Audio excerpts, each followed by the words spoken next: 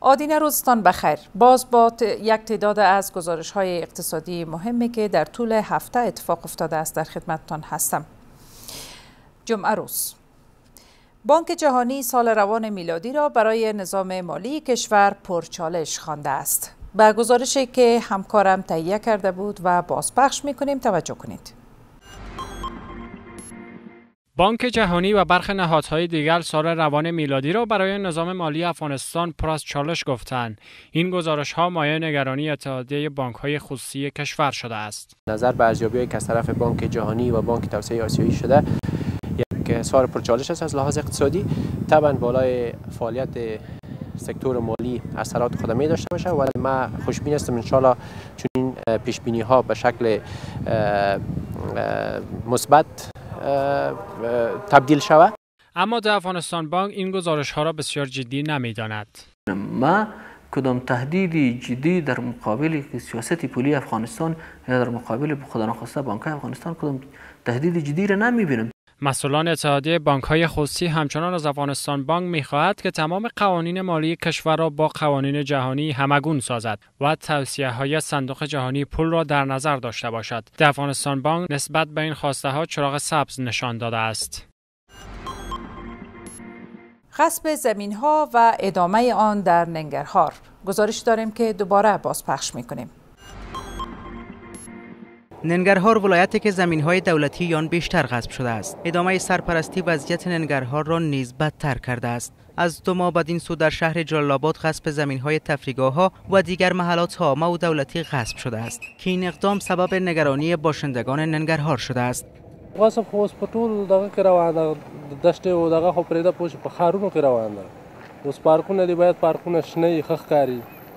او بس په هغه کوم د خپل ګورې د نیر غاړه کې پوه شو. کورونه ټول جوړ شو وروره بنګلې دي او آبادیان دي غصب خواري چې روان دی د دې خلک پرې چې په دولتي ځایونه غصب کی او دلته ګور دا فرقونه دي هر یو ځان ته بیل بیل تینا زینت دیوالونه چاپیر کړی دي او ځان ته پکې هغه جوړ کړی دي کورونه پکې جوړ کړی دي دولت باشندگان ننگرهار با انتقاد میگویند در غصب زمین های تفریگاه ها مقام های محلی با زورمندان هم دستند. آنان از رئیس جمهور میخواهند که مانع روند غصب زمین های دولتی شود.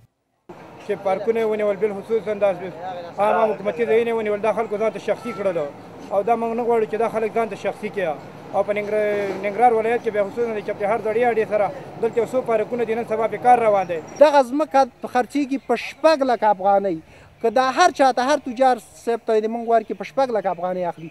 خو دولت ته مونږ تاویلېږي شپېته زره افغانۍ؟ آیا دا لوی ملي خیانت دی که نه دی؟ د دولت ځمکه دولت حق د گردیوال صاحب و د گلمیران صاحب جبونو تزی با گفته آنان بر اساس سهلنگاری سرپرستان زورمندان به غصب زمین های دولتی دست می‌زنند. آنان هشدار می‌دهند که اگر رئیس جمهور مانع غاصبان نشود به جاده ها خان ریخت. با این حال سرپرست ولایت ننگرهار غصب زمین های دولتی را رد نمی کند اما در جلوگیری از آن خود را عاجز می داند غصب شوه. خو په خوانه دی. اوس هغه ته منګه یو سیستم برابرو د امنیتي ارګانونو سره چې دغه د غصب چې الته د پخوانی کم کورونه پراته دي دوی ته باید شاروالي د مناسب ځایونو کې دغه ورکی کده غاصبین ټول غریب خلک دي. به وسه خلک دي چې الته یو دو بچیان او دغه دغه لاندې پراته دي او کوټه لاندې.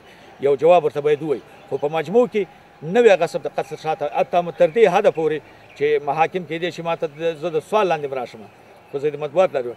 زمونږ د قصر شاته هم دا اوس د 15 جریبو قواله په شرعي قواله راغلی ماته د نظر خواهیم خلاصه شوی ټول مسائل دغه شوی دي مگر ما ساتلی ده چې ما ویل چې دې باندې زه وسه اجرات نشم کولای دا به بیا ګورو. تلاش کردیم تا نظر مقام های شهرداری ننگرهار را در زمینه غصب زمین هایی که آمد داشته باشیم اما موفق نشدیم گفتنی است که به دلیل همین مشکل عطالودین والی پیشین این ولایت از سمتش استعفا کرده بود شنبه سیلاب های اخیر 317 خانواده را در ولایت بغلان شدیدن آسیب زده است. گزارش در این مورد داریم که بازپخش می‌کنیم. رئیس اداره مبارزه با حوادث طبیعی بغلان می‌گوید سیلاب های اخیر در شهر پلخمری 317 خانواده را شدیداً متضرر کرده و آنان به کمک مؤسسات کمک رسان 25 قلم جنس را که همان آرد، برنج، روغن، لباس، دوشک، خیمه و چندین بسته دیگر می باشد برای این خانواده ها توضیح می نمایند.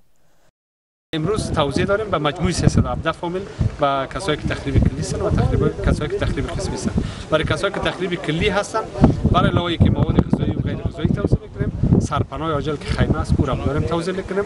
در همین حال فامیل های متضرر از سیلاب های اخیر پل خمری که دارایی و منازلشان را به کلی از دست دادن می‌گویند به این کمک ها نیاز دارند و باید حکومت غم سرپناه آنان را نیز بخورد.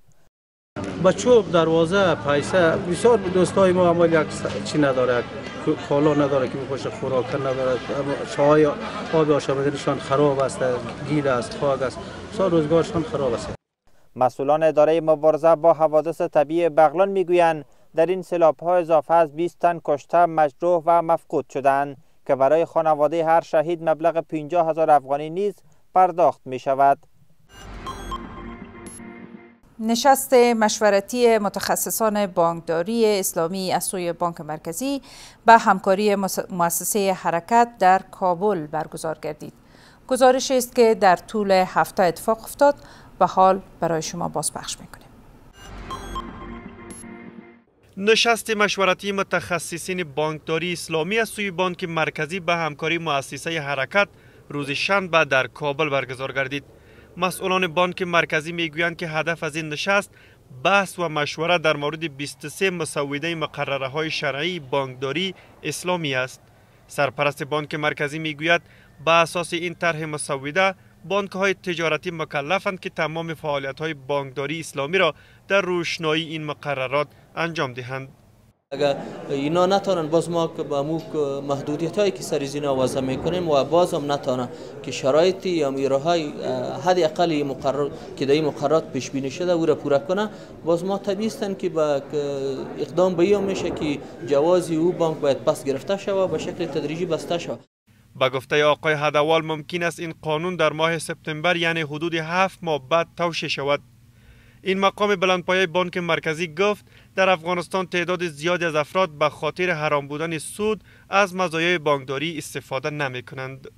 من متعقن هستم که فیصدی سپرده ها و همچنان فیصدی دارایی و همچنان فیصدی سرمایه گذاری در بخش بانکداری اسلامی انشالله رو به رشد خواهد بود. مسئولان بانک های خصوصی می‌گوید تعداد زیادی افغان ها اکنون به نظام بانکداری اسلامی علاقمند اند. گفته می شود 15 بانک خصوصی در افغانستان فعالیت دارد که از این میان اکنون 8 بانک بخش بانکداری اسلامی را تطبیق می کند که بیشتر از دو میلیارد دلار در این بخش در دوران است. در کابل موترها به پیاده روها و آدمها به جاده ها عبور مرور می کنند. گزارش است که همکارم تهیه کرده و بازپخش می کنیم. این کابل سال 1975 میلادی است. شهری که در آن هر چیز جای خودش را دارد. با آنکه شمار موترها در این سالها کم به نظر می رسد اما شهریان از پیادهروها استفاده می کنند ولی حال وضع کابل این گونه گشته و روزانه رویدادهای ترافیکی زیادی هم اتفاق می افتد که گاهی آبران را راهی شفاخانه می کند و گاهی هم به حل و فصل خیابانی می انجامد مردم از پیاده رو استفاده نمی‌کنن بر روی جاده ها میرن. اگر خدای نکرده کدام موتروان اگر نفر بزنه ملامت موتروان میشه. پل ها را جور کردن اونا همش بیفایده است. مردم از جا نمیره این میل دوستا همگی می‌بینه که از سرک مردم تیر میشه. ای که از پیاده رو تیر شه و هم به خوبی خودشان است هم به خوبی دولت است. جلال نورانی از فرهنگیان کشور است. او نگاه نوستالژیک و یادمانعی به گذشته افغانستان دارد و از چرایی وضع کنونی کابل می‌گوید. از امو مردمان کابل به ندرت دیده میشه روی جاده و اینا و بیشتر برادرها و هموطنهای ما که از ولایت کشور آمدن از دهات از قریه و اینا یا اکثریت مطلق دست فروش هم در روی سرک پیاده رو هم در روی سرک و موترها هم در روی سرک. و باز وقتی که با پیاده رو میری عین چیز البته همه مشکل به شهروندان بر نمی گردد. در کنار نبود آنچنانی مدیریت شهری برخی از خیابانها در حاشیه خود حتی فاقد پیاده است. گشت و گذار شهروندان بر روی خیابانها به جای استفاده از پیاده ها به یک رسم تبدیل شده و کمتر کسی به این مسئله متوجه است. مسئله ای که نمای شهر کابل را به هم ریخته نشان می دهد. وحید نویسا آریانا نیوز بعد از یک وقفه دوباره به برنامه برمیگردیم. با سلام مجدد در آدین روز زیربنا هستید. با تعدادی از گزارش های اقتصادی و مهمی که در طول هفته اتفاق افتاده است در خدمت شما هستم. یک شنبه. بانک ملی افغان تفاهم نامه قرضدهی را با متشبسین کشور به امضا رسانید.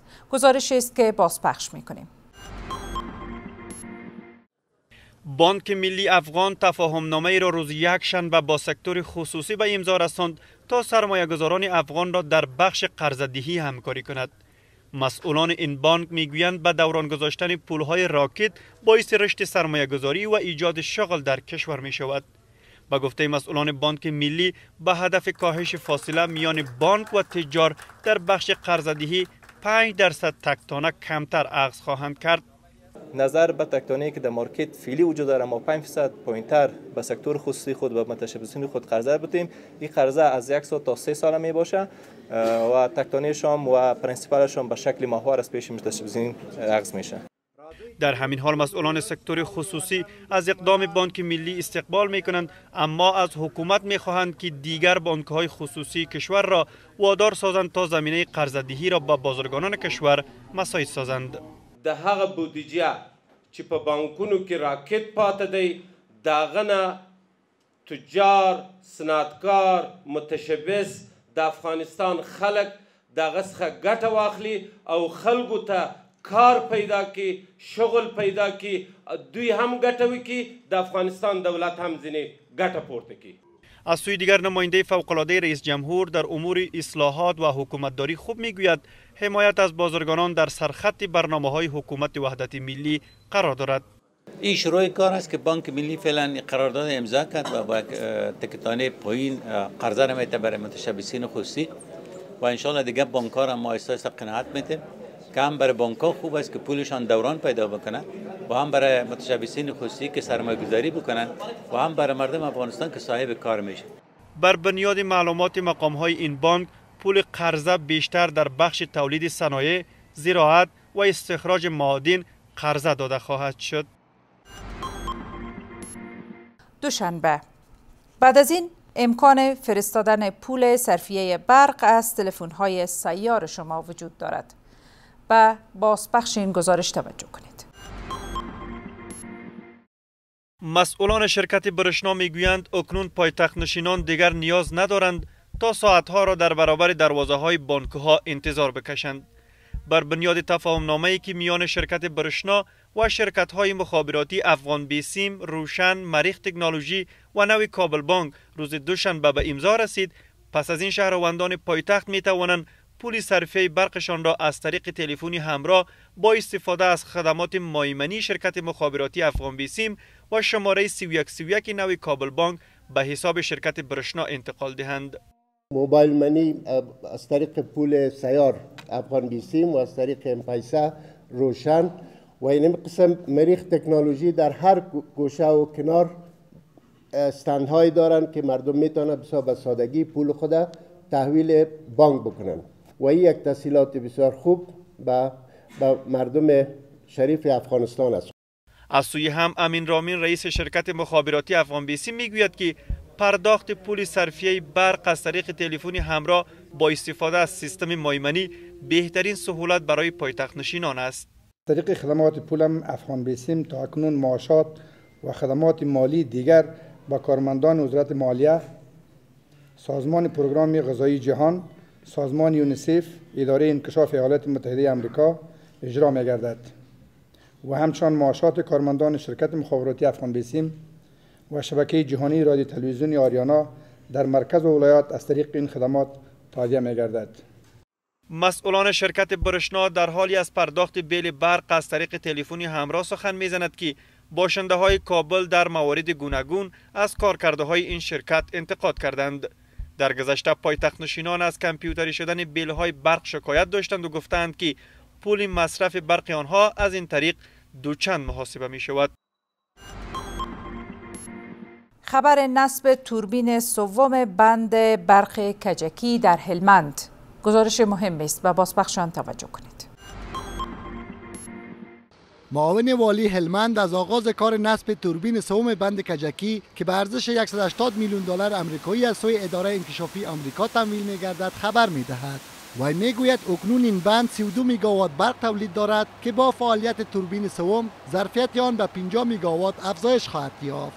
د دې توربین د مونتاژ او نصبولو چارې رسما پیل شوې او د دوه راتلونکو میاشتو په ترڅ کې به ان شاء الله د دې د نصبولو چارې بشپړې شي او دا ظرفیت موجوده چې تر درې دیرش نه تر دیرشو پورې دی دا به له پنځوسو پورې پورته شي. به گفته وی کار این پروژه تا دو ماه دیگر تکمیل می شود. با این حال معاون والی هلمند می افزاید که کار نوسازی لین برق از بند کجکی تا شهر لشکرگاه و کندهار به زودی آغاز خواهد شد و قرارداد آن با یک شرکت داخلی عقد شده است. افزایش اواید ولی عدم پرداخت تکس های دکاکین به ارزش 100 میلیون افغانی. به بازپخش این گزارش توجه کنید. مسئولان شهرداری خوست هرچند از افزایش اواید این اداره خبر می دهند اما نگرانی دارند که دکان و مارکت های شهر خوست از عدم پرداخت تکس شهرداری بیش از 100 میلیون افغانی قرض دارند. دا عواید هم مونږ ټول کړي نه دي. یعنی تقریبا د درې ورځې کېږي چې د عواید تقریبا د سلو میلیونو افغانۍ نه پورته عواید دي چې درې کلونو کې دغه پاتې وو. موږ غواړو چې دغه د مارکیټونو خاوندان نه دغه ټول کړو. دغه فرمان لري یو منظم پروګرام لري دغه مخې. وی میگوید که برای مبارزه با فساد گام های جدی را برداشتهاند و از تمام کارکردهای مامورین این اداره نظارت خواهند کرد. به گفته وی تفریگاه های این شهر را به سکتور خصوصی می دهند و 12 کیلومتر سرک را نیز قیرریزی می نمایند. سکتور ته ورکوو دا که هلته ترمیم وي که هوټل ته ضرورت وي کوم کانتین ته پارکو ته د هغې به راورد کېږي مصرف یې معلومېږي. دا چې موږ څومره مصرف وکړو هغه موږ وکړو یا څوک هغه سکتور خصوصي وکړي کله دی باید پانګونه وکړي پانګونه چې وکړي بېرته یې موږ مجرایي ورکوو په قرار کې.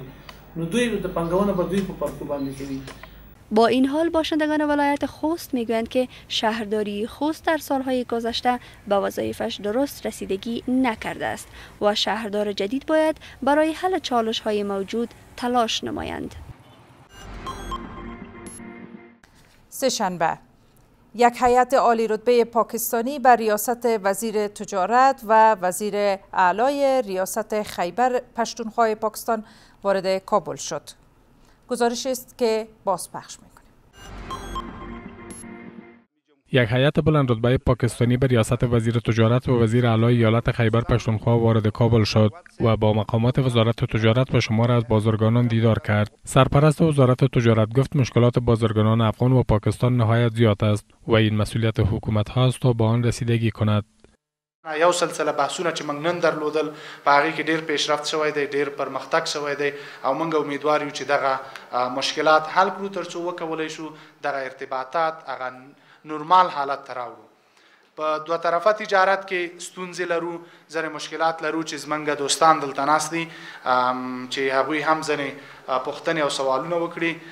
په ترانزیت کې ستونزې یو تعداد حل شوي دي امیدوار یو چې نورم حل شي سفر این مقامات پاکستانی در حال به کابل صورت می‌گیرد که پیش از این نیز برخی از مقامات نظامی و ملکی پاکستان به افغانستان سفرهایی را انجام دادند. هند علاقمند شرکت در توافقنامه سه جانبه ابطاع شده است. گزارش است که دوباره باز بخش می‌کنیم. همزمان با چانهزنی روی تفاهم نامه سه جانبه ترانزیتی میان افغانستان، تاجکستان و پاکستان این بار هند نیز علاقمندی نشان داده است تا در این توافقنامه سه جانبه شریک شود. مسئولان وزارت تجارت و خارجه افغانستان می‌گویند با نزدیکی هند در این توافقنامه سهولت های فراوان ایجاد خواهد شد. شامل شدن و پیوستن جمهوری هند در ابتا به نفع افغانستان تلقی میشه و افغانستان از او استقبال می‌کنه. باید امو سهولت در برابر تجارت و ترانزیت و لاری های مام داده شود. این نشست سه جانبه به پایان رسید و تمام مشکلات خردریزی تکنیکی که بود باید به مقامات هر کشور در میان گذاشته شود. با این حال برخی از سرمایه گذاران نیز نقش هند در توافقنامه ابتا را با اهمیت می‌خوانند. دا کچيري د هندستان هیواد شور داخل سي دا چارجانبه سي دا توافق دا ډیر ګټه د افغانستان تاجر صنعتکار د پار لري. په دې خاطر چې د افغانستان وچه میوه اکثره وخت پاک د هندستان ته ځي او په په کال کې په زرهاو په لکو لکو تن از موږ لنده میوه هندستان ته ځي.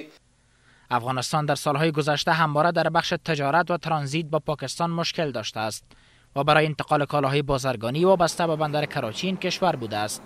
گفته می شود پاکستان برای امتیازگیری های سیاسی همواره از این مشکل سود برده است. این بود گزارش های مهم اقتصادی که در طول این هفته اتفاق افتاده بود و من ویدا ساغری از برنامه آدین روز زیربنا خدمت شما تقدیم کردم. تا برنامه بعد و هفته بعد شما رو به خداوند میسپارم بدید